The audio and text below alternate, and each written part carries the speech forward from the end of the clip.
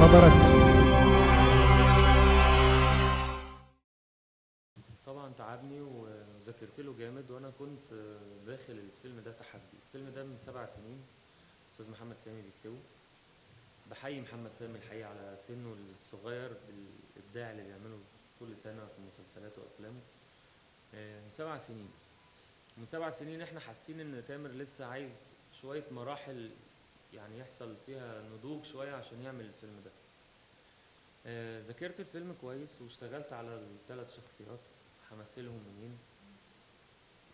وذاكرت الطريقة أول مرة في حياتي أعمل كده يعني إن أنا أقفل على نفسي تماما وأخش في الشخصيات وأختار الشخصية دي يعني حتى لما أجي في رياكشن مثلا لحسام الخديوي وأنا بذاكر أقول أنا هعمله كده معايا أقول لأ ده تامر قوي فببعد عنه. آه، ولو إن حافظت على شوية حاجات في تامر اللي هو ما أكيد في ناس بتحب حاجات في تامر يعني هو منتهى ذكاء التغيير أو التطوير. تحافظي على الحلو اللي فيكي وتتخلصي من الحاجات اللي ممكن نتخلص منها ويبقى فيه أحسن.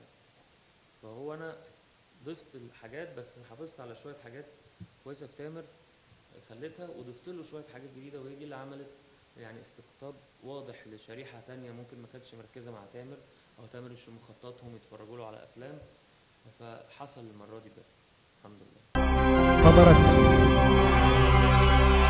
أقوى موقع فني في مصر.